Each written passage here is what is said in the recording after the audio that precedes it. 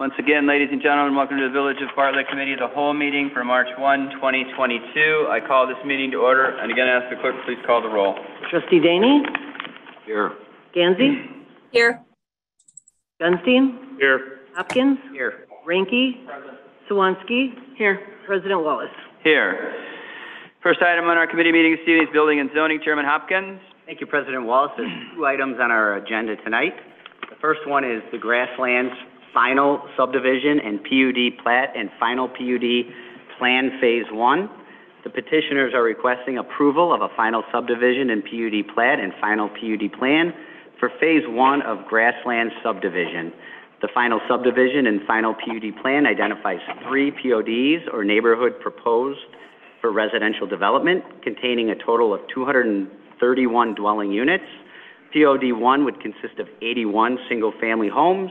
POD 2 would consist of 60 active adult ranch homes, with POD consisting of 90 active adult duplexes. The northwest corner of Route 59 in West Bartlett, Lot 197, is designated for commercial use and will be developed in future during Phase 3.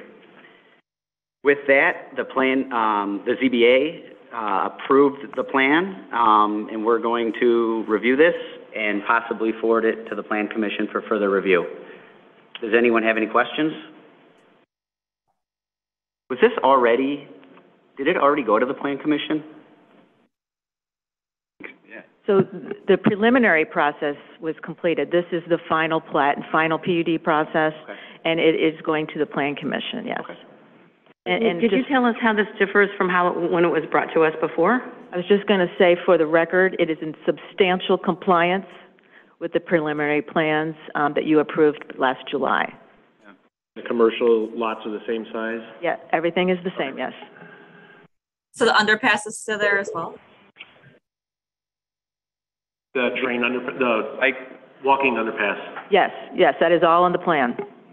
I like that plan. Any other commission, questions from the committee? And we will forward this to the Plan Commission for further review. Perfect. The next item on our, our agenda is, is Municipal Code Title 10 Zoning Ordinance, Chapter 13, Administrative and Enforcement. Attached is a proposed text amendment to the Municipal Code Title 10 Zoning Ordinance that repeals the existing Chapter 13, Administration and Enforcement in its entirety, and adds the new Chapter 13 as drafted. This new chapter creates the Planning and Zoning Commission and outlines all of its duties and powers while abolishing the existing Plan Commission and Zoning Board of Appeals. The Zoning Board of Appeals reviewed the proposed text amendments, conducted the required public hearing for the meeting on February 3rd, 2022. The Zoning Board of Appeals recommended approval. Does anyone have any questions on this item? I do not. To death enough. Thank you for being here, gentlemen. So we will forward this on to the village board for a vote. Correct. That's all we have under building and zoning. Hopkins, you got it easy tonight. Thank you, Chairman Hopkins. Uh, Community and Economic Development, Chairman Gandsey. Thank you, Mr. President. We have one item. We have. Uh, First, uh, first, we gotta know where you're at and what the temperature is. Let's In see, Miami, it's- it's seventy-eight. Yeah, it's nice. Well, thank you I'm for, having a thank good you for time. making, thank you for making the effort to be on. But I, I do miss being there in person. All right, Oh, thank you you, would. Mr. President. Of So we course have you one do. item. One. We have uh, a BEDA grant for the Dog Father. So they've been a successful restaurant in Bartlett for over 15 years. Um, Mr. Pissarro has been an active member of the community, sponsoring many events, and was recently inducted into the Vienna Beef Hall of Fame. He's updating his business sign to an LED sign this spring. Uh, the quote was for 4,217, and the Economic Development Commission is recommending a 50% BEDA grant in the amount of $2,021 once the sign is completed and proof of payment is submitted. Are there any questions? Oh, let's run this through. I, I, I, Tony, I saw on the news that there's a Chicago Heights, the news wasn't out of ours, but there's a Chicago Heights place that was, uh, you, you, you had yours in fifteen, they were in business for twenty-five years. They just showed it on the news today. They're in the Vienna Hot, Hot Dog Hall of Fame.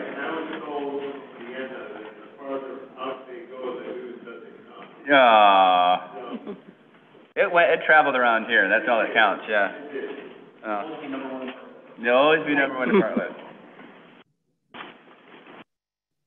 I don't have any questions. Now let's move this along. All right, so we'll forward this request uh, to the village board for a final vote. Perfect. Are you putting in a sign, is that what it is? Yes. Fantastic.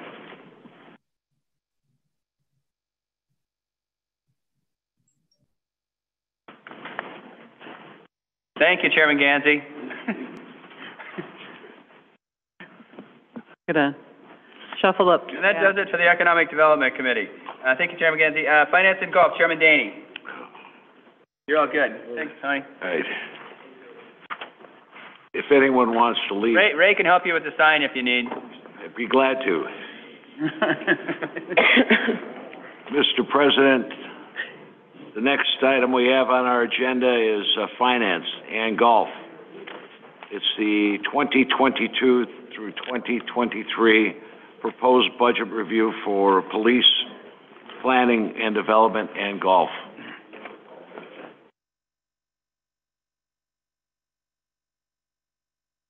And with that, we'll start with the, uh, Anybody left on the other side of the building? do we need a larger table? Oh, my God. Hey, It must Pete, be Pete, bad. get up there. They have more room for you. How are, how are we supposed to vote no now? Very intimidating. I think, hey, Chief, are you asking for a lot? Is that why you got up there? Want to back up? Really set the stage here. I, I just hope, Hey, one all, national night out, they get more Yeah. stuff. I just hope all of you don't have to speak. No, no, hopefully not. You know, We, we, we try and teach people budgeting as they come up through the ranks, and so we have a lot of beginners and a lot of, uh, uh, old timers on the, on the table tonight. So, um, we will begin, uh, budget review with police, and then we'll go to golf, and then hopefully we'll have time to get to, um, planning and development services. So, Chief, I'll hand it over to you. All right, great, thank you.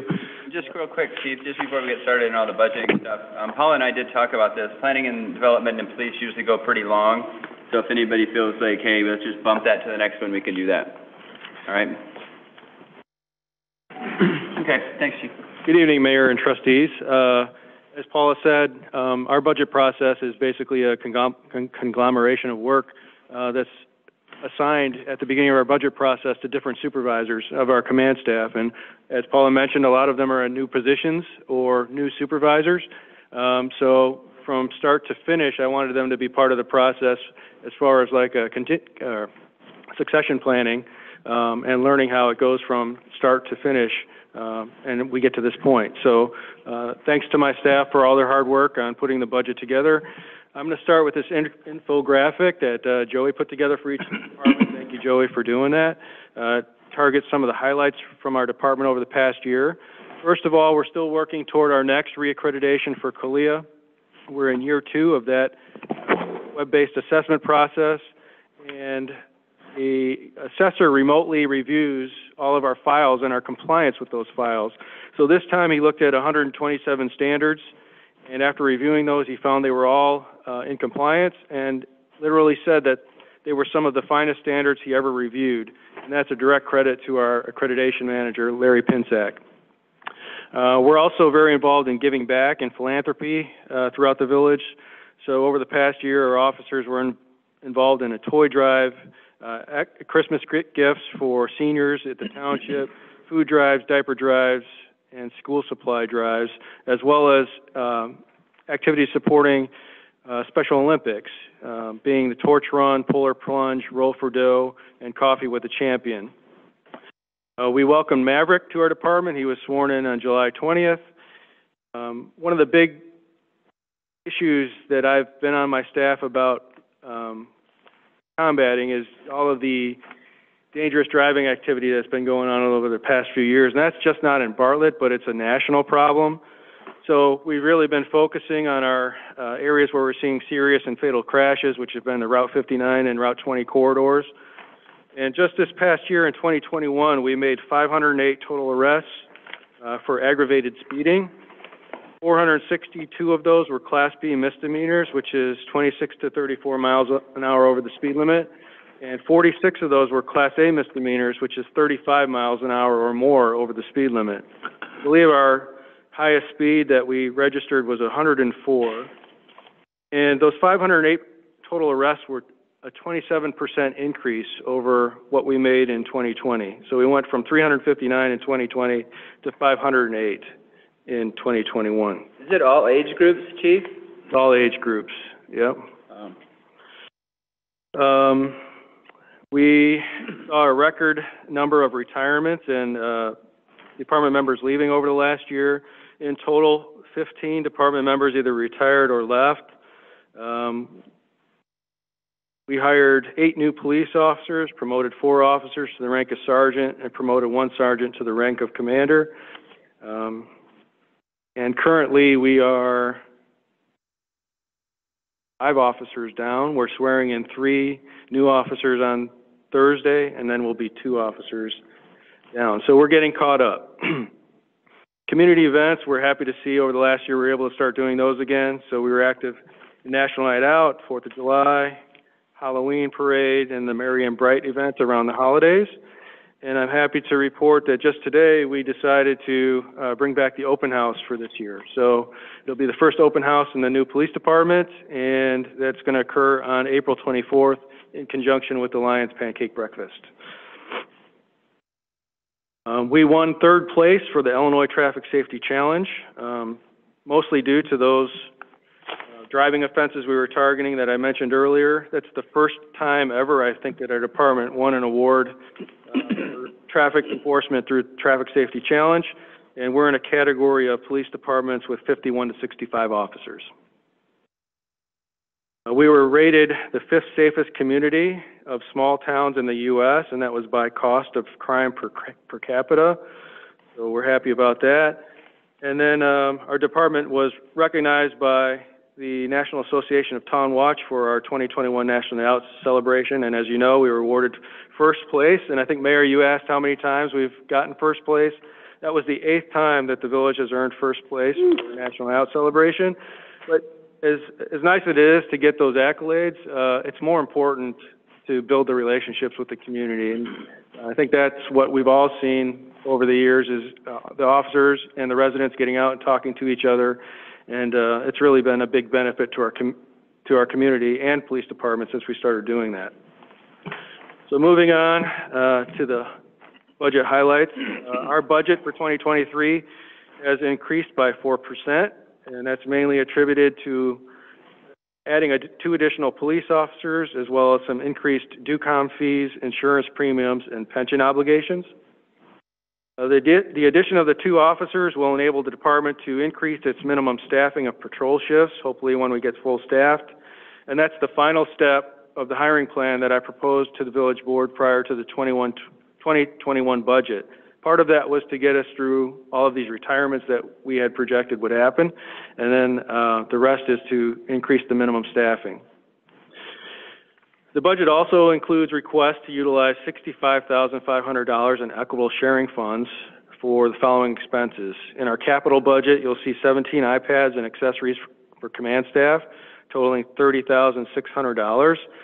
What those will primarily be used for is uh, utilizing them at meetings, but also in our EOC, when we have to activate our Emergency Operations Center, we only have two computers that people can use. So we'll use the iPads um, so people can access documents, email things back and forth, access the internet, and that's really going to improve our ability to manage critical incidents in the EOC. We're also looking uh, at establishing a new interface to the FBI for $15,000. Uh, our old provider uh, had the same records management system as us, that was Northwest Central Dispatch, so we were able to kind of piggyback on their system and go through their system. They just switched over all of their um, records management systems and CAD to a new provider, so we lost that connection. So we have to have a new connection to the FBI. And then in professional development, I'd like to send two senior, uh, two commanders to the Senior Management Institute for Police. One new item that we're going to be requesting this year is the addition of seven license plate readers. We'd like to install these cameras around the entrances and exits to our village to assist in investigating and solving crimes. The cameras don't retain any personal information related to registered owners or possible drivers of vehicles. Instead, they allow us to search by date, time, and location, as well as make, color, and type of vehicle. Moving on to our progress toward the short-term goals. For routine goals, um, one of the main highlights I want to focus on here is over the past couple of years, we've been offering Citizen Police Academy classes. Last year, we offered two.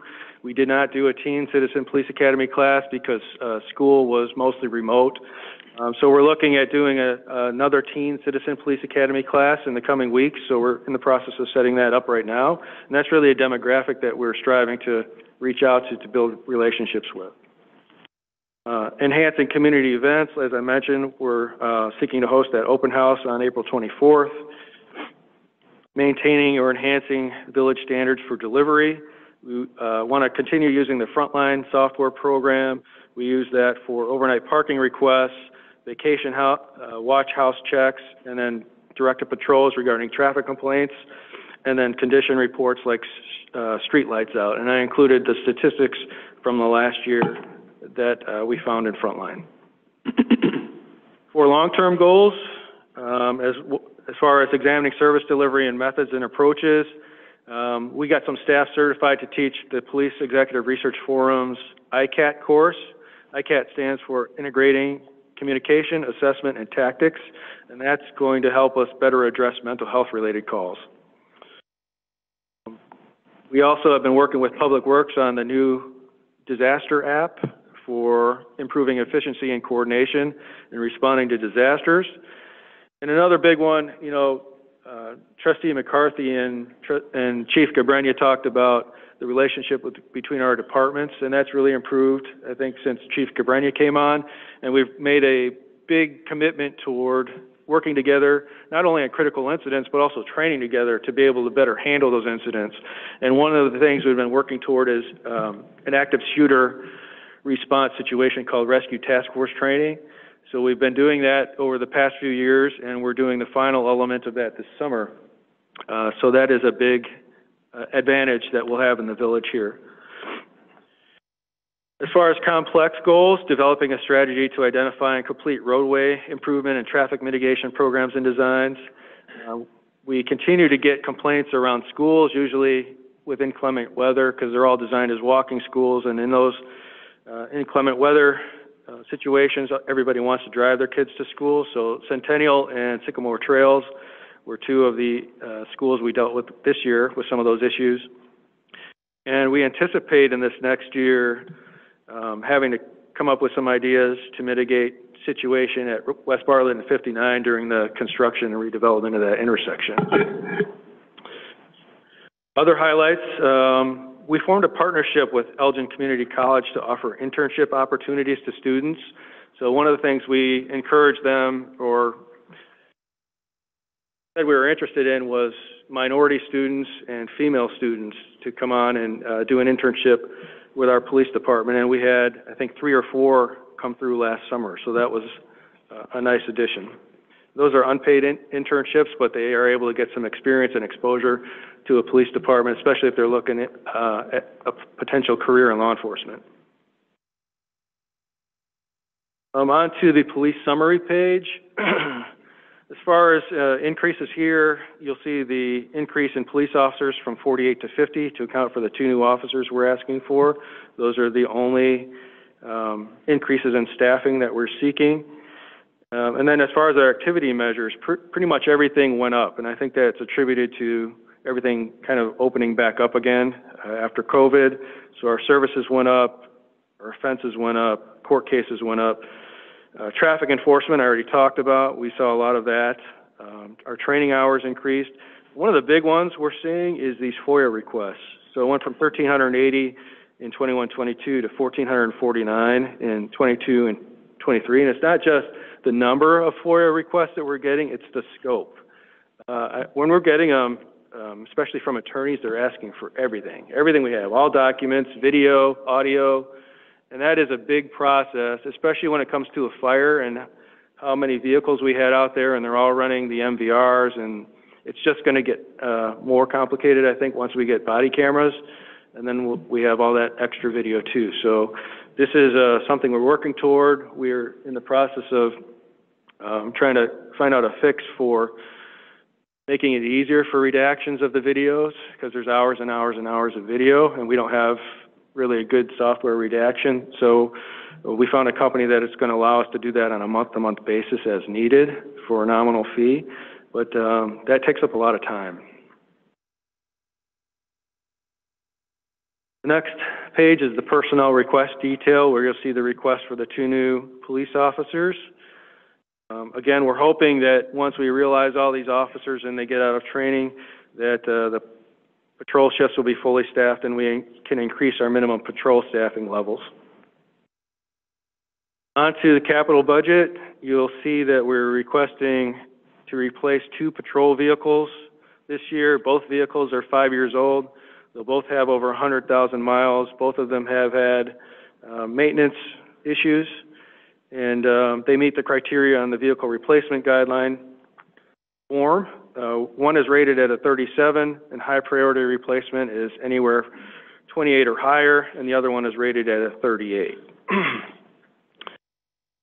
The next item is that ID Networks RMS link to the FBI. That's how they get our, all of our data um, that we have, to- are required to report to the F- FBI. That's $15,000, and that is a new request. We're requesting to replace a speed trailer. It is broken and unable to be repaired, so that is $11,000.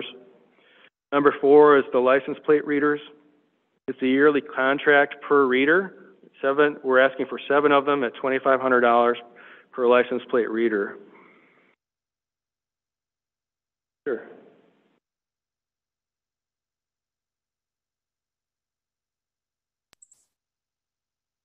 So we had some issues in town this year that uh, if we had cameras and they were in the right place, we might have been able to capture and solve some incidents. One was the fatal crash on Lake Street where a pedestrian got hit. It was a hit and run and we didn't have any un- information other than it might have been a white vehicle, and we had a piece of a headlight from it. So if we had a camera up on Lake, Street and it caught a vehicle with a license plate, or we saw that it didn't have a headlight, we, we could search by color, we can search by make, we can search by model, we can search, search by license plate. Um, so that may have been beneficial there. We had the shooting over in uh, the townhomes off of Harbor Terrace. Um, so if we had a camera in that area, uh, we could have captured it there. But one of the benefits of going with the vendor we're looking at is there's a lot of other communities in our area that are also going with that vendor. And there is an opportunity to share information. So even though one of our cameras may have not picked it up, a camera in another town may have picked it up. Um, and we're able to search that um, as long as they give us permission um, we can all search each other, other's cameras for the data that we're looking for. So I think they can be very beneficial in helping us stay one of the safest communities in the United States, but also helping us solve crimes that occur. How'd you Mm, identify where the seven would go? The seven, So we took a look at, we took a look at some of the locations, um, that we thought they might be, um, most beneficial at. Like I said, we, I mentioned the exits and entrances to the village. So Carol Stream last week presented at their budget meeting, they are getting cameras. What we want to do is coordinate with the other agencies where their cameras are at and put ours in different locations so we can get more bang for the buck. So as far as the locations go, the proposed locations right now, and this could change, would be Lake Street and Park Boulevard, Stearns Road and Newport, Route 59 and Army Trail Road, Lake Street and Naperville Road, West Bartlett Road and Route 25, Devon Avenue and Newport Boulevard, and Stearns Road and South Bartlett Road. Now, part of that process is we have to get permits to mount, because it's a pole-mounted system, and it's got a solar, small solar panel attached to it, but we have to get permits to put them on county right-of-way or state right-of-way, so the vendor would seek those permits. In the meantime, during the process it takes to get those permits, they would install them in a location where we already have the right-of-way, in a village area. So they would mount them there until we got the permit from either the county or the state, and then they would move them for free to those locations. Um, There are currently 89 Illinois clients uh, for the company we're looking for. Some of the most local agencies include Barrington Hills, Bensenville, Bolingbrook, Burr Ridge, Cary, DuPage County, DuPage County Forest Preserve, Glendale Heights, Kane County Sheriff's Office, Libertyville, Lombard, McHenry, Naperville, Oak Brook Terrace, Palatine, South Barrington, Vernon Hills, and Villa Park. Uh, Hanover Park is looking at them. As I mentioned, Carol Stream got them approved in their budget the other night, and South Elgin did as well. So there's a lot of communities around us that have them. And one of the articles that I read is even in um, communities that have a high crime rate, once the cameras go up and people know they're there, the crime rate has gone down uh, because it's that uh, deterrent effect of the risk of getting caught. So I think it could be a, a, a benefit to our village. If they get van- if they get vandalized, does the company pay for them, or do we have to pay for them, or? The company owns them, so they would come out and replace it. So who has access to the data, and how long is the data stored? So I believe the data is stored for 30 days. Flock is the company we're looking at going with. They own the data. And then we, as a police department, have the option of letting other departments view our data, and they have the option of whether or not to allow us to view their data Within those 30 days, within those 30 days. okay? So is this information that would be shared with any other intergovernment? I mean, you're talking about other, like Carol Stream, right? Streamwood? Any other in, government agencies? It depends on how we set it up. So you can open it up to any law enforcement agency in the area, or you can do it on a case-by-case basis, where someone would have to reach out to our department and say, can we have access to your data? And then we would grant it. So it's, it, depending on our comfort level and how we want to set that up. So it's not open to Homeland Security or, I'd have to get that answer for you. I don't know about federal agencies like that, but I could find that out. thank you. I have a question for you on it. What, what do these cameras look like in size, capacity, and how are they mounted or where are they mounted? So if you've seen our radar boxes that are pole mounted, it's smaller than that. The camera is about this size, and then there is a, I've got, I brought photos because I kind of anticipated you might. My concern is like if you go to the city of Chicago, they have a red or a blue beacon light on it and a camera. I just wanted to see if it's the same type of setup or is it a smaller, um, self-contained unit? It's, it's fairly small and in- inconspicuous, I would say. The biggest part of it is the solar panel. And it's just grabbing the license plate? That's the primary function of this? Grabbing the license plate, the color of the car, the make of the car, the model of the car, and then the date, time, and location that it passes through the camera. So what you're getting now is you're getting a picture of what one of the cameras looks like installed on a pole. Uh, also, there's this, a picture of the solar panel. And then, um, DuPage County is mapping all of the communities that have license plate readers right now, as well as ones who are projecting to get license plate readers, and that's the other document that you're seeing. So as you can see, there's a lot of them that are either already in place or projected to be in. How many vendors offer this in the state of Illinois? I don't know how many off the top of my head. But you feel comfortable with this vendor, Yeah, obviously? so there's a couple benefits to going with this one. Uh, one is most of the police departments around us are going with it. If we go with another vendor, we can't share information with that, y- you know, you can't, the vendors don't talk to each other. Um, and then the flock system that we're looking at, we are looking at going to Axon body cameras and in-car cameras for our squad cars.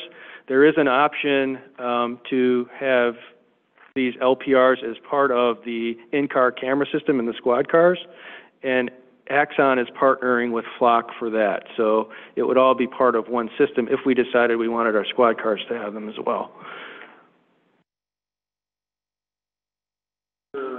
owns the cameras, does that mean that they pay for them when the drunk, uh, runs over them with the, his or her truck? I believe they do. I, I, I'll find out the exact answer on that, but they own the cameras. We just have a contract to access the data. Do they install them in this price? They do install them. And like I said, if we have to put them on uh, the village right of way and then they get a permit for state or county, they'll move them for free and reinstall them.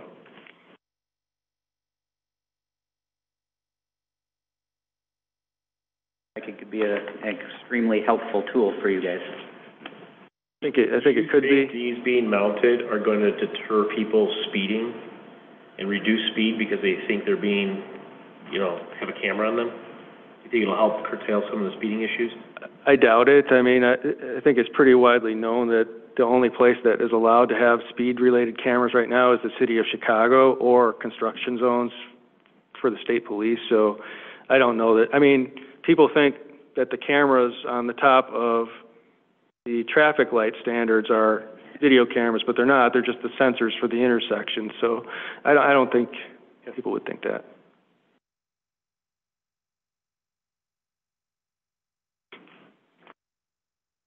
If there's no more questions, I'll move on to the next. Um, so we're looking to replace two automatic external defibrillator units. This is, uh, replacing, actually, we're replacing four CR2 AEDs. We're replacing four older AEDs that we can't get batteries for anymore. Um, and one of the things I've always reported over the past few years when we've been replacing these is how many AED saves we've had. So since 2015, uh, our AEDs have been deployed numerous times. Sometimes they don't advise a shock, sometimes they do. Uh, but since 2015, we've saved 12 lives with AEDs. Um, in 2021, we had one. In 2020, we had one. In 19, we had two. In 18, we had two. In 17, we had two. In 16, we had two. And in 15, we had one. So they've been uh, very beneficial uh, regarding our officers' response to um, critical medical situations. Uh, part of that also is we need two AED training units. Those are $555 apiece. Um, number seven, GrayKey is a software service we're looking to purchase. It seems like every crime right now has some type of cell phone related data. So this GrayKey service will allow us to utilize cell phone forensics. Um, number one, it allows us to unlock iPhones if we get a warrant or we have a deceased victim where they have a password protected phone and we can't get into it. This would allow us to get into those phones to get valuable information, help us solve a case. Um, but it also allows us to extract the data and to view all the data um, on those phones. So, um, again, that's a contract for one year of service. Number eight is iPads for the command staff that I referred to.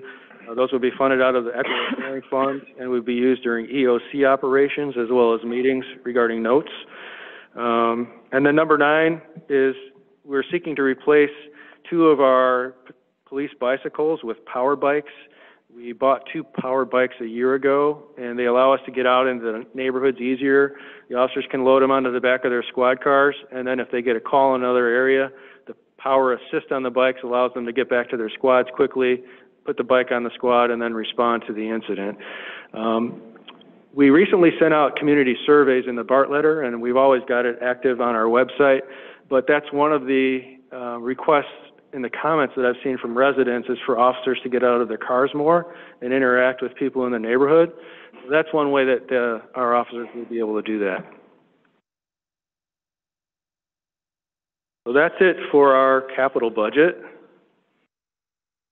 Moving on to our professional development detail. Um, we are seeking to send an officer to traffic reconstruction school. Um, that's, again, part of our succession planning. Some of our officers who have had that certification have retired or are going to be retiring in the next couple of years, so we're trying to get some more people trained with that. Um, our CALEA conference is going to be in Chicago this year, so we're going to send a deputy chief and our accreditation manager to that. The Illinois Homicide Investigators Association Conference, we're looking to send eight investigators to that, and part of that conference, they get recertified as a homicide investigator. They have to keep that certification up. On the next page, uh, the International Association of Police, Chiefs of Police Conference, that's in Dallas. We're going to look to send the chief, a deputy chief, and two commanders to that. Um, the IPELRA conference, we've got a lot of benefit out of regarding labor relations and labor law, so we're gonna look to send two command staff members to the annual conference in Galena, and then also, uh, command staff members to the annual em- employment law seminar. Um, actually, there's one coming up Friday that we're all going to. One of the new things we're asking for is for four honor guard members to attend the Illinois Police Officer Memorial. We did that, uh, several years ago, and then we've got several new members of our honor guard now. We'd like to get them down there to the memorial. Also, we're sending an officer to Crisis Negotiators Association Conference. Uh, one of our detectives, Stephanie Navarro, just got certified as a hostage negotiator, and so she is part of a team on DuPage Merit, and so she has to go to this conference regarding that. The next one is for our officer who's assigned to the DEA. Uh, she's required to go to this drug, terrorist, and criminal interdiction conference in Nashville in June. Um, the next category on the next page is our leadership and management courses. So we're looking to send a new sergeant to a 10-week uh, staff and command course through Northwestern University. And then we're looking to send two new sergeants to the supervision of police class through Northwestern University, which is a two-week course. The higher management levels, command and up, are eligible to attend the Police Executive Research Forum Senior Management Institute for Police. And I'd be looking to send uh, two commanders to that and utilize equitable sharing funds for that expense. On the next page, uh, one of the big expenses, as always, is the Police Training Institute Basic Academy fees. We're anticipating potentially seven positions at $6,100 per recruit, totaling $42,700. In the past couple of years, I had been budgeting equitable sharing funds to be used for this because uh, ILETSB, the Illinois uh, Law Enforcement Training and Standards Board, was not reimbursing academy fees like they had in the past. So now that they started reimbursing the academy fees, we're just going to use regular budget funds for that because they won't reimburse if we use our federal equitable sharing funds.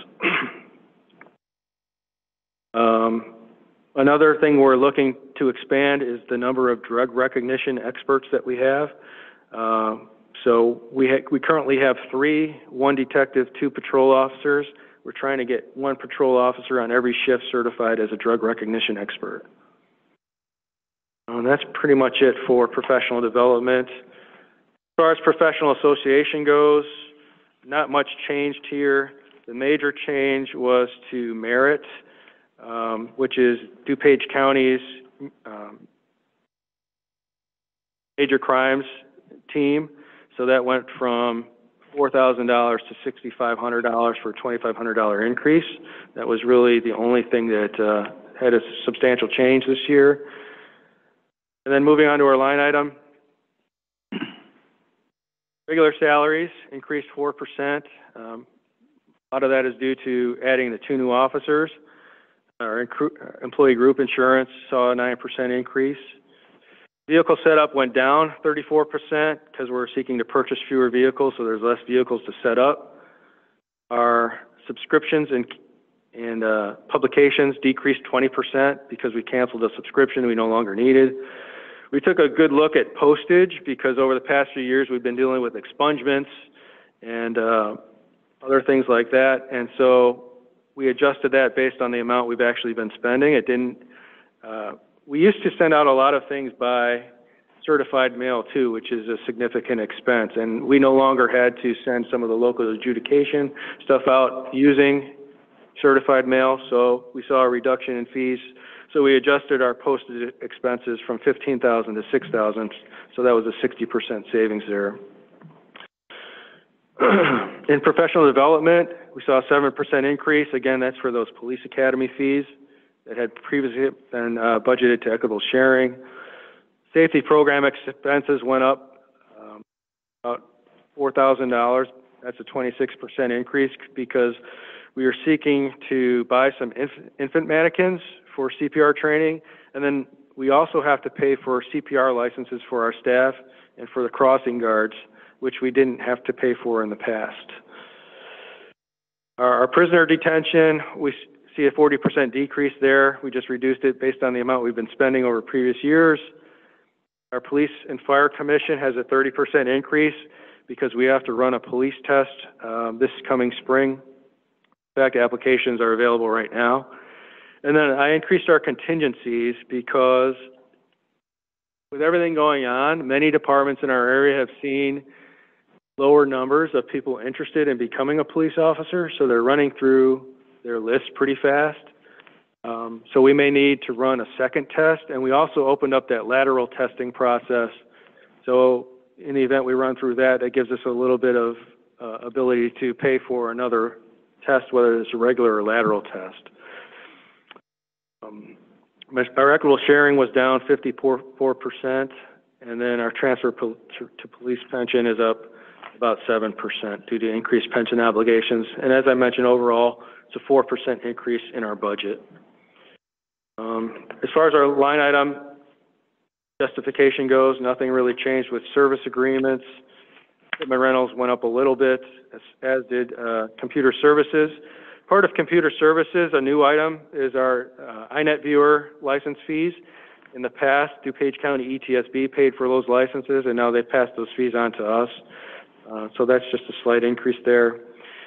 In DU-COMM, um, the DuPage ETSB is replacing all of the police and fire radios this year. Um, they're at end of life, ten years, so that's all the portable radios that we wear on our hips, as well as the radios that are in our EFC and record section. They're paying for most of it. The only cost we have to pay for would be like battery chargers, bank battery chargers, and our CSO, potentially our CSO radios. So what the DuPage State's Attorney's Office is doing is they are, they are reviewing everything and rule, they will issue a ruling on whether community service officers are considered first responders. If they're not considered first responders, we would have to be on the hook for most of this, uh, four-year fee of twenty-five thousand, three hundred thirty-two dollars, which they'll let us, let us pay back over four years, so that's where you see the six thousand, three hundred thirty-five dollars. But what I anticipate is that the state's attorney is gonna rule that CSOs are first responders, and that would substantially reduce the number that we have to pay. I would, I think for the, uh, bank battery chargers, it's about thousand dollars for those, so hopefully we won't be on the hook for most of those fees.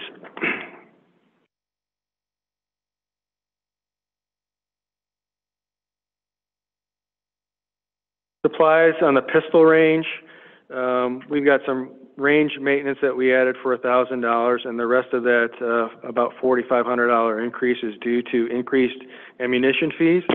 Uh, when we order our ammunition, it's taken around a year from the time we order to actually get it. There's a very, very short supply of ammunition, and that's why the cost has gone up as well.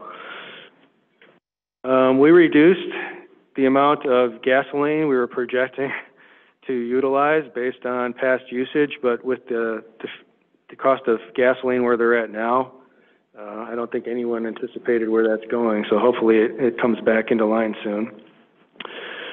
As I mentioned, postage, uh, went way down based on what we were using. Our safety program expenses went up a little bit due to the purchase of the mannequins and the CPR cards. And then the police and fire commission fees went up based on the police tests that we're holding. So unless you have any other questions, that is it for the police department. As far as fuel goes, did we ever have, uh, a gas station at Public Works for the police department to fill up? We did. We had a, a gas station at Public Works where not only the police department filled up, but, uh, Public Works filled up, the fire department filled up, Hanover Township filled up. Um, but I think the, the issue was the cost of maintaining the underground tanks and things like that. So what we're part of right now is a part of something called WEX, and there is a state agreement, I think, that covers the fuel fees. So it was more beneficial to, um, become a part of that than have to maintain and purchase all of our own gasoline at Public Works. Thank you. Anybody else? Thank you, Chief, appreciate it very you, much. Chief. The next one would be, uh, golf. Right. Uh, I think, I think, Uh, are we doing Yeah, well, let's get golf out of here. Presentation's gonna be short. What? Oh, it's called the, to the old, old guys. The youngest one there. I know. Oh, yeah, yeah. The old dog. Oh, I know what you're saying. Yeah. Just so you know, if we don't finish with Roberta tonight, we'll have to start at six next time. So, If you do golf and Roberta.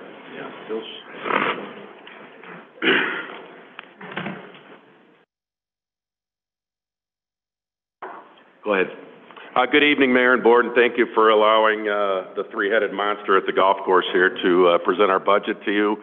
As you know, we, we do our budget a little differently. Uh, I am responsible for the, the golf portion of the budget. Uh, Paul Peterson, our food and beverage director, does the food and beverage part, and Matt Gearmack, our superintendent, handles, uh, grounds part. I will touch on some of the golf highlights, uh, relatively quickly here and then hand it over to these gentlemen. Uh, we did see a, we're- we are anticipating a six percent revenue increase in golf revenues this upcoming season. A couple of highlights, we do, uh, about twelve thousand, uh, resident, Bartlett resident rounds every year. Um, biggest highlight we had last year, honestly, was COVID restrictions, uh, going away and allowing us to operate the golf course, more in a normal fashion as opposed to two thousand and twenty.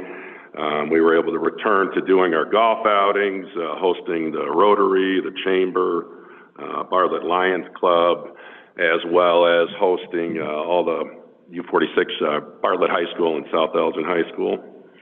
Another highlight, one of the big things last year was, uh, a purchase of a new golf simulator at the golf course. Uh, um, along with that came a golf shop renovation where we were able to make a, uh, a nice deal with Adidas Golf Company to, to become our primary clothing vendor. Um, they did a great job sending us, uh, display materials and, and giving us discounts on product. We also did a golf shop renovation in coordination with, uh, fitting that simulator in there, and another shout out to Public Works as they did the construction on that and saved us, uh, quite a, quite a bit of money there.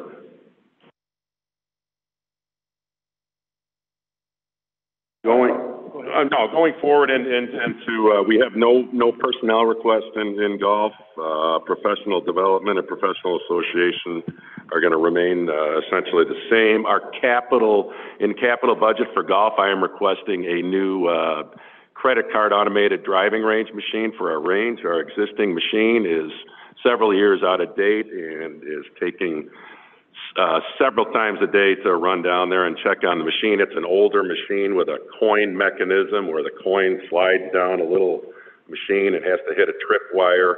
Our new machine will allow us to, to, uh, customers to purchase range balls with credit cards and also purchase bulk balls. So the golf courses that have gone to this machine have seen about a twenty percent increase in, in range revenues over time. Um, with that being said, um, my li- if you have any questions on line items or anything like that, feel free, and with, I'll turn it over to Paul. Well, Matt, oh, okay, you going to Matt? No questions? Oh, okay. All right, good evening, Mayor and Board. I will be going over the grounds budget tonight. If you have any questions, feel free to stop me at any time, and I will be happy to answer them. We will start with the grounds personnel requests, and we have none. So, next page. The next page is capital outlay request. Uh, our first item is for a greens roller. It is part of our vehicle replacement fund. Our current unit is from 2007 and has exceeded its life expectancy by four years. It has a total of 5,500 hours on the unit. There is a formula you can use to convert machine hours to like miles per, or like your miles on your car. And it comes out to roughly, the 5,500 hours comes out to like 300,000 miles on your car. So the machine has been through a lot of hours and miles and usage, so it's getting costly to repair. Bearings and, uh, the rollers are breaking and the hydraulic hoses are starting to need repair, so the cost to repair is starting to get expensive for the units. And then it just has some really good agronomic health benefits to the grass. It promotes smooth putting surfaces and increases the green speeds, which golfers really enjoy. Faster greens, gets around the word of mouth. And then, uh, It also can reduce our algae and dollar spot disease, so hypothetically, hopefully, we can use less fungicides, so it's more environmentally friendly for the golf course, which is always nice. No questions? You guys have like a unit like that that needs a lot of repair. Do you guys have a mechanic on staff that fixes a lot of it, or do you have to bring in outside? Yeah, we have Dennis as our mechanic, who is a very handy man. He can He's fix a a lot. miracle worker. Yeah. He's created, I call him the wizard. yeah. He Or is fixes it rare? Cents on the greens roller. I, in twenty-five years, Matt got to demo that greens roller last year from, from Toro and had it out there for what, about six weeks, a couple of months. I had months? about a, no, I had about a week. Well, we never had so many people come in to tell us how good the greens were when you were, when you were, really got a lot of compliments. It also allows us to use the mowers less. You can get away with mowing one day, rolling the next day, so your machine hours, you get less wear and tear on your machines, you're splitting up the wear and tear, so. Oh, It's gonna last longer? Like, yeah, we hope. But yeah, the golfers really love the fast greens and it seems to work out really well. The next page is professional development. We have a small de- small decrease from last year's budget. So that's good. The next page is professional association detail. It's the same as last year. There are no changes. Then, uh, line item detail, we have an increase of three percent. Some of the bigger ones would be automotive supplies, just due to the rising price of gasoline and diesel. Uh, tree maintenance material, up twenty-five percent. We're still working on removing some of the larger silver maples around the greens, and they're so close to the greens, we need a company to come in and kind of bring them down from the top and drop them and do them safely so they don't damage the golf course. And, uh, building and grounds improvements, it's an increase of four hundred percent. We're kind of doing, hoping to do some new landscaping around the clubhouse, and then the larger number would be for rebuilding some of the older bunkers on the golf course. They're thirty years old, the oldest bunkers. Their life expectancy is roughly 10 10 years, so the oldest ones are past their time. So we're hoping to kind of start rebuilding the oldest ones first, in-house, working with a contractor to do some of the shaping to reduce the prices. Never knew there was a life expect, expectancy on a bunker. Oh, yeah. Car paths have life expectancies, everything out there. Wow. Aim just tears them up. That's, that's it, unless you guys have any questions for me. Questions for Matt? Thanks, Matt. Thank you, uh, trustees and mayor, for letting me do the food and beverage aspect of the golf operation. A big thank you to these guys for being such great people to work with and uh, to get the golf course in such good condition to, uh, for us to go ahead and be able to look out our windows and see that every day from the banquet facility. I want to jump right back to the uh, little uh, stuff at the very beginning again.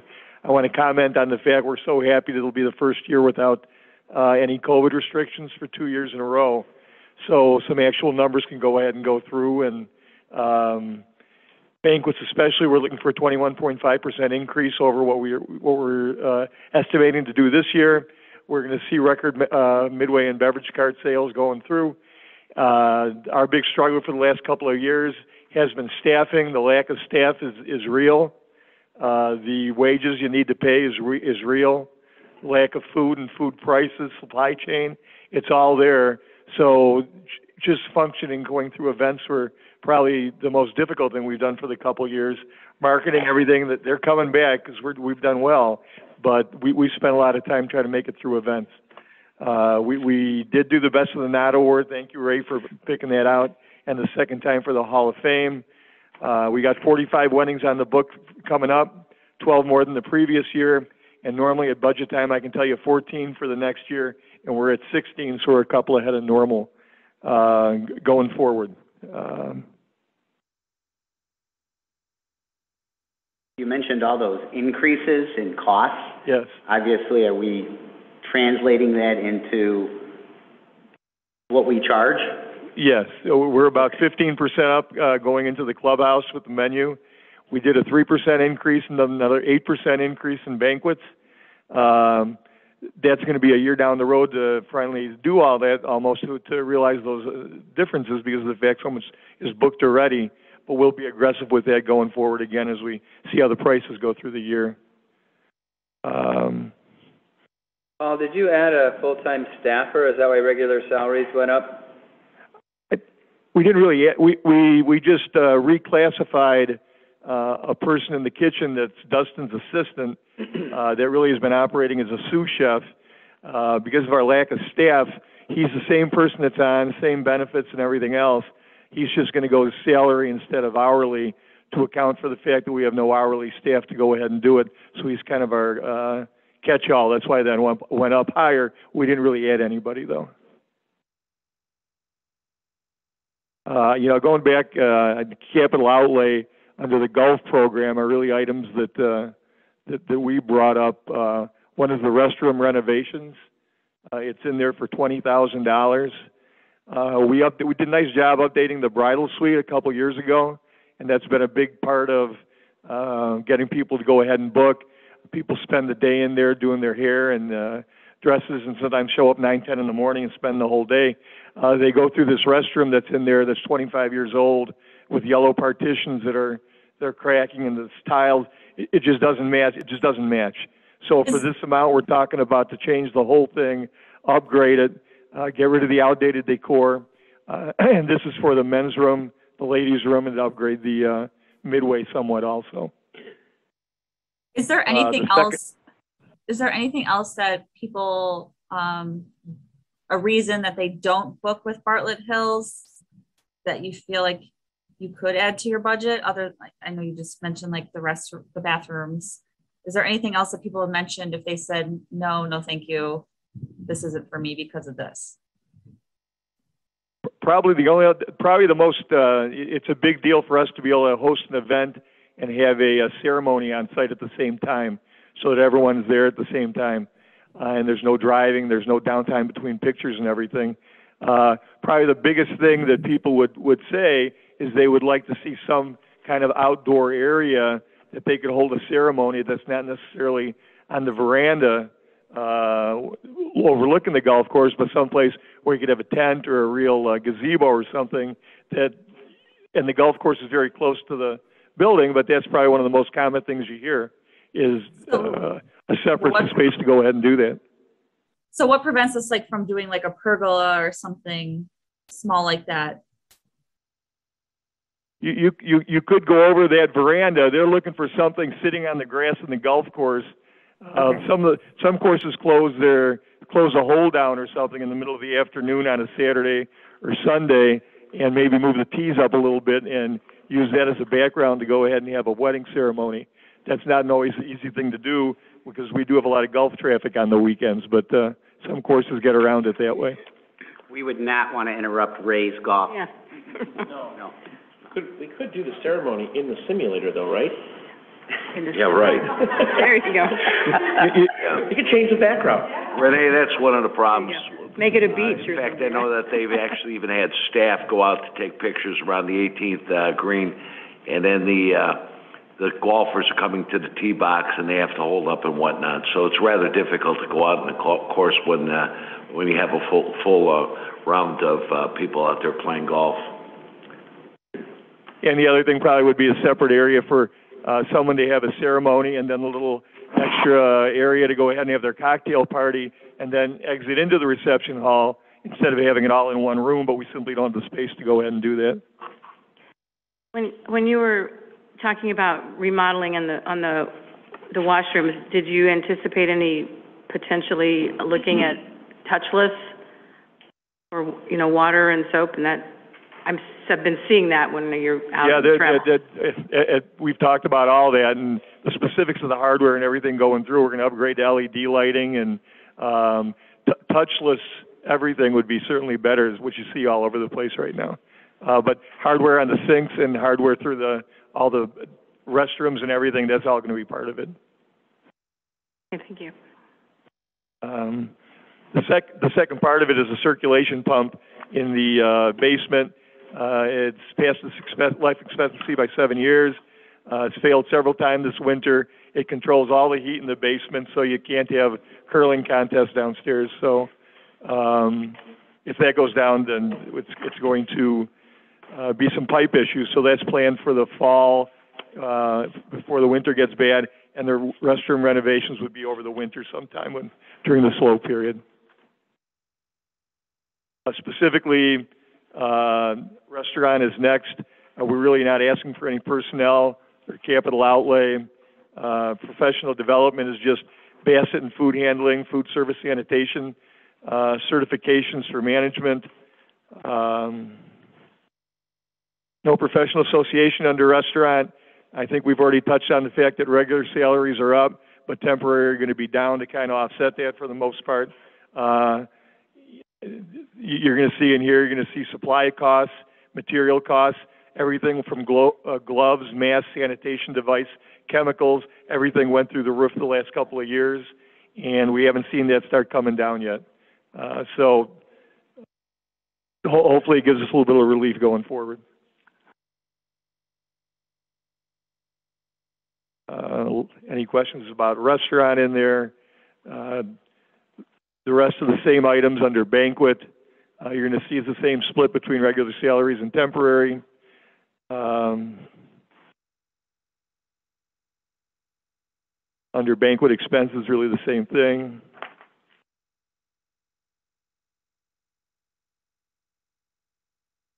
And the last category is the midway, the little, uh, um, little stand out there at nine holes that makes us about eighty thousand dollars a year through hot dogs and beer and, and everything else. And that, uh, with an expanded liquor menu and some food specials and everything else, that's, uh, that's turned into probably, uh, twenty, thirty thousand up from where it was three, four years ago as an average for, just for profit coming in. So, uh, that, that's a good sign. Besides that, that's about it for food and beverage, I believe. Any other questions? Thank you, gentlemen, for being here this evening, and gentlemen, again, congratulations on the fourth straight year on the uh, Best Knot, the Best of Wedding Knot Award. So, thanks for being here. Thank you. And Matt, I expect smoother greens now, too. Hi. You gonna move into Public Works? Some of you don't know, they've already replaced, Public Works has already replaced one of the sand traps. Yes, They did it all, an eighteen. almost all of it. We had to hire somebody to shape it, but How many times have you hit into it? No, They did a great job, Kevin, Kevin's right, the mayor's right. They took the back trap out, and, uh, they rebuilt Yeah. the, uh, the... Four right now, there's three of them, four of them are done. Right. You have five minutes. Uh, Phil? Phil, Paul, Matt, I don't know what- if you have to hang around for the remainder of the budget meeting. You're done, aren't you? You can. We're gonna sit through this one, we're, trying to. Okay, all right. All right. It seemed like Scott was gonna join you, and then he ditched you. Try and work with you, a little cooperation would be nice. All right, planning and development. Um, I'll, I'll start with the highlights, and, uh, I, I think our, one of our biggest highlights is the online permitting system that went live in April. Um, it's been very well received, and, um, has kept our department actually very busy. I, I would like to thank the board for, um, approving that in last year's budget, because it has been really night and day in our department. Um, it's unbelievable. Um, the stacks of paper have just disappeared. And overall has saved our department in office supplies, paper. It's just amazing. Um, part of the system, we, uh, instituted a new express permit, uh, that is issued in one to three days. And I can tell you that we have a record permit issuance of, uh, nine minutes. It went through so quickly that the person reviewing the uh, permit, um, application, um, thought the person didn't pay because it processed, the payment was a little bit slower than the issuance of the permit actually. And when we hit the refresh button, it showed that everything went through as it should. So nine minutes to issue a permit. Unbelievable. Um, over the past year, we have reviewed over eighty-five million dollars worth of improvements, and our staff has collected over one point seven million dollars in fees. I have a more brewing update. Yesterday, they submitted the last two items that I was waiting for. Um, Bob's already approved the plan, uh, reviewed the plans, has a few minor changes. Our village attorney's reviewing the bond. And, um, as soon as I they give me the go-ahead, I'm issuing the permit. All right. I just heard Brian say do it. Bert, you're done, just go issue it now. I love it. All right, so I'm hoping, I'm hoping in days. Uh, the second four hundred thousand square foot building in Cook County, uh, was completed and has been leased to one entity, which is great. Um, you heard the grasslands tonight, they're moving forward, it's coming through, two hundred and thirty-one units. Eastfield, uh, you know, they've completely sold out, they've been, um, construction's been at, at a rapid pace, it's been unbelievable. We set a record year for inspections with over 8,300. Bartlett Station, you approved that with 90 uh, uh, units for an apartment complex. I have an update on the Bartlett Automotive Mall that went through expeditiously through the zoning process. Uh, They submitted civil engineering plans this week uh, because they know that takes the longest to review, and they need to do that to go through some of their state permits and get those signed off. And as soon as they get that um, through um, our review of the engineering, then they're going to submit architectural. So that's coming on. Our adjudication cases have doubled over the last two years. Um, we had updates to the 2020 building code with the adoption of the swimming pool and spa code. And then finally, um, we have worked with the board on the creation of the new Planning and Zoning Commission. And with that, our, um, budget for planning and development services is proposed to increase by five percent. We are asking for a plan reviewer.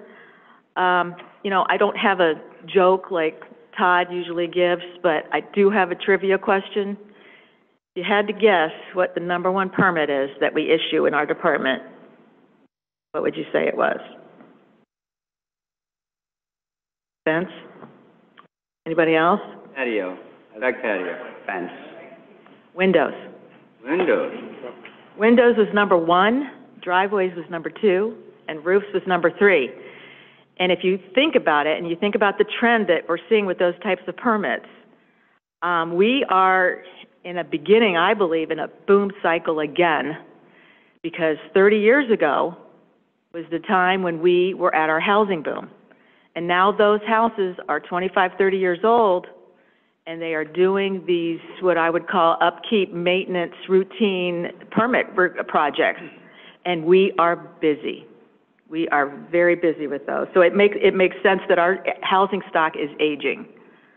Um, non-residential, I've got, I've got three projects, I believe, coming in Brewster Creek Business Park. I've got four coming in Blue Heron Business Park. I've got possibly three coming in Southwind Business Park.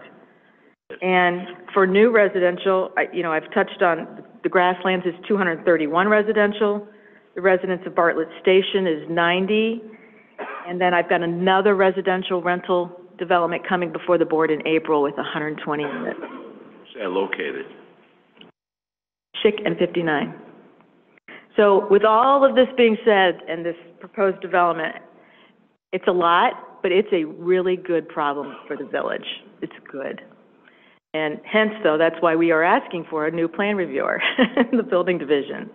Um, you know, it's our goal to keep moving development forward, and in order to do that, with all of this coming at us, um, I, I do feel that there is a definite need for a plan reviewer in our department. Um, Will the fees justify that position? I would hope so, yes, yes. Um,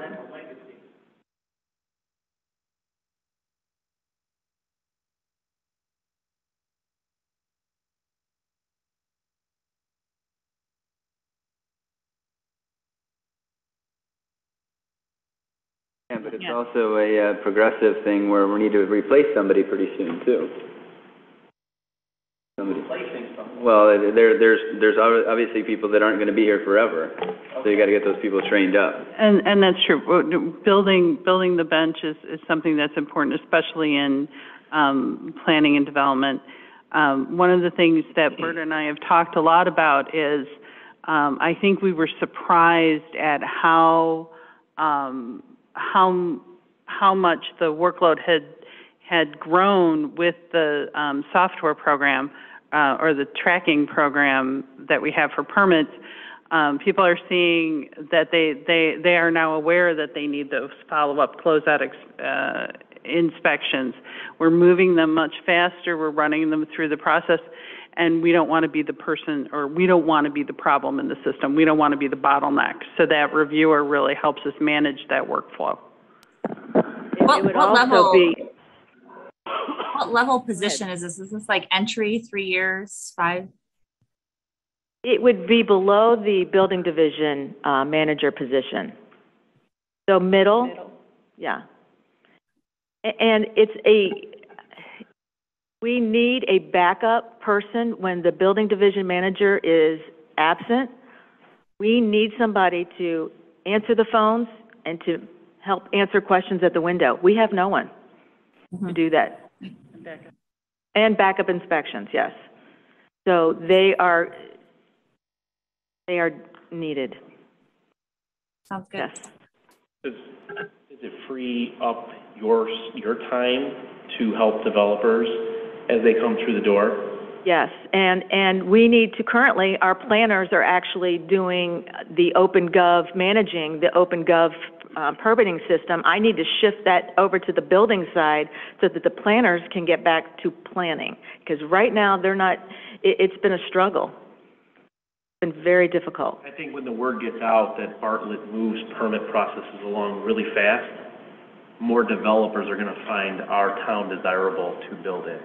So that, along with the plan commission consolidation, I think is a huge step, so. We hear that anecdotally, um, with the, the speed at which the, um, PDS department is turning around, um, permits, what would take, um, some of our neighbors and surrounding communities two weeks to crank out, we do it in three days. I mean to brag. So, um, I thought I would go into, um, Todd, could you put up that one slide, just to show you, so I didn't want to go over the numbers of the activities that we do, but I wanted to show it to you graphically. So, this is, um, from our activities, you can see that the, our numbers over the last two years have gone up in permits, in the plan reviews, and in the inspections. So that was taken right off of our activity numbers out of our budget. Um, on the, we're not asking for any, um, equipment, capital outlay at this time.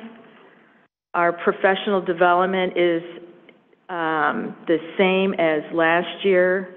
No changes have been made to that.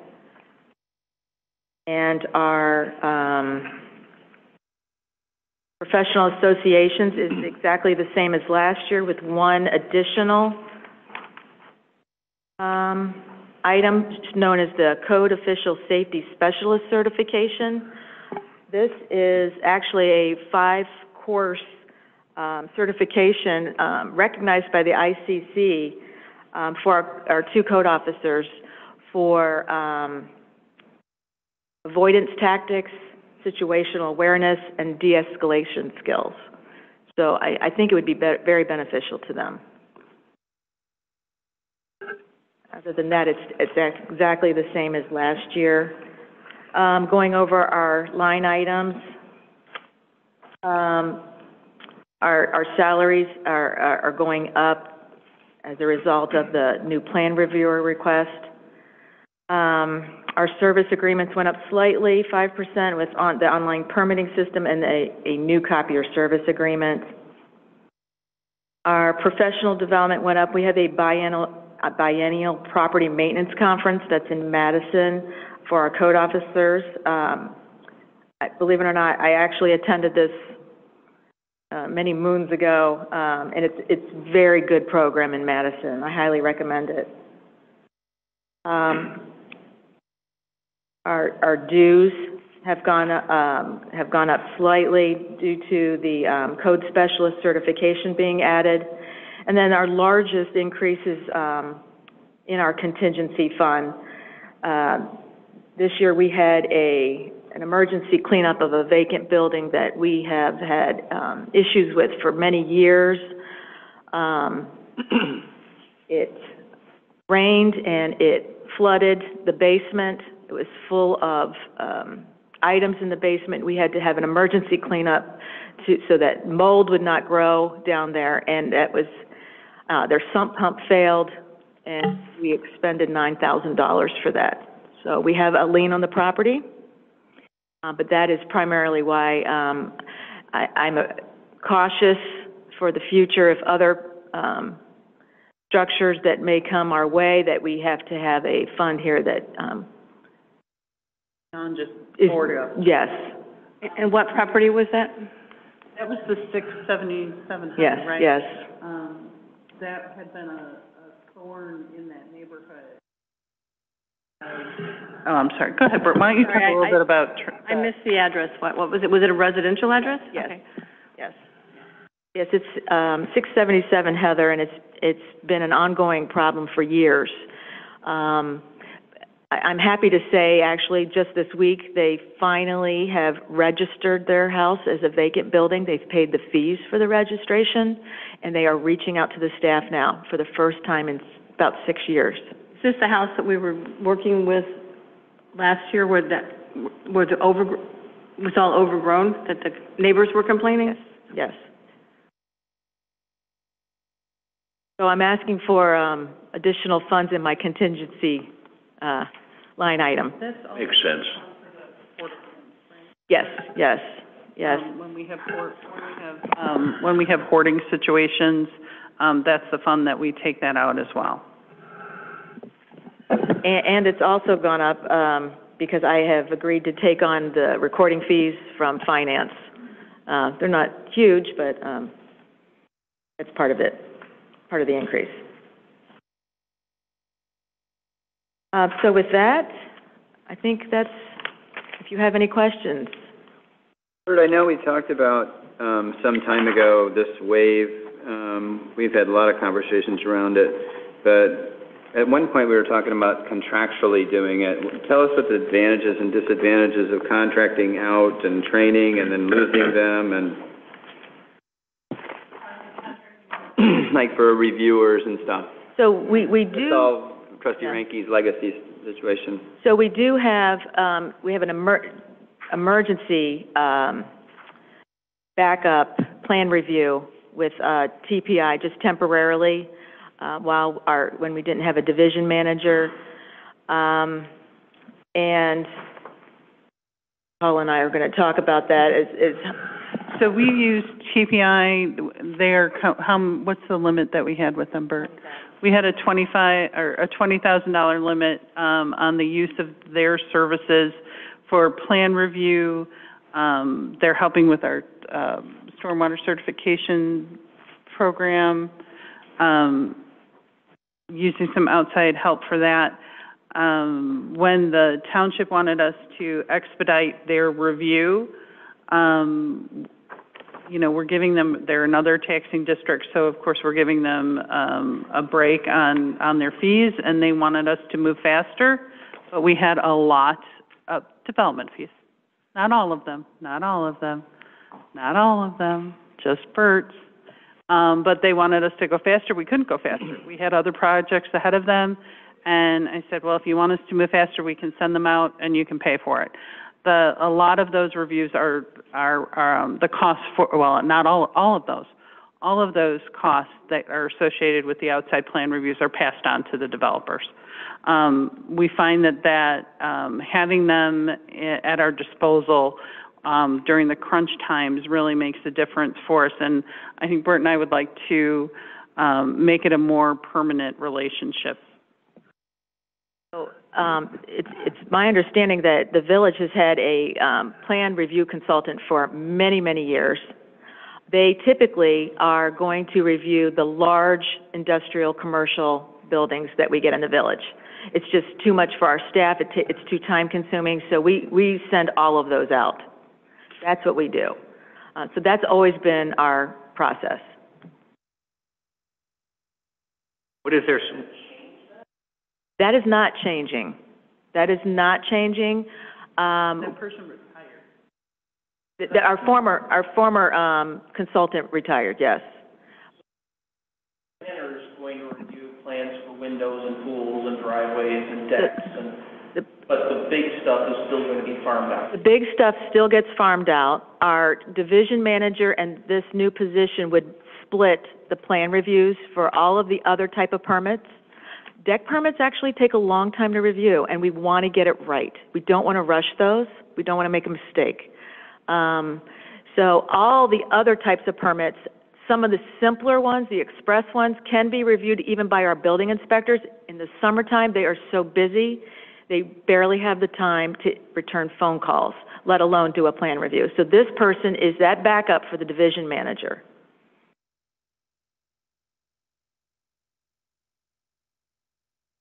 Yes, we did, who was the plan reviewer as well. We did, we don't, didn't have that position. The costs for the expediting reviews are covered by the developer when you're sending them out to TPI, correct? Y- Yes, Those have not impacted us financially. that, that is correct. That, uh, That is a pass-through, yes. Anyone else? All right, Mr. President, that's all we have. Thank you very much. Thank you for the rundown on all of the new Yeah. developments. That was very enlightening. All of the new real estate taxes coming into our village. What's the reason for the adjudication going up? The amount, the amount of cases in local adjudication? So we've taken a, uh, the last two years, we've taken a little bit more aggressive stance on some properties that have Going to end it really quick? been dilapidated, and, and we're trying to up our enforcement on that.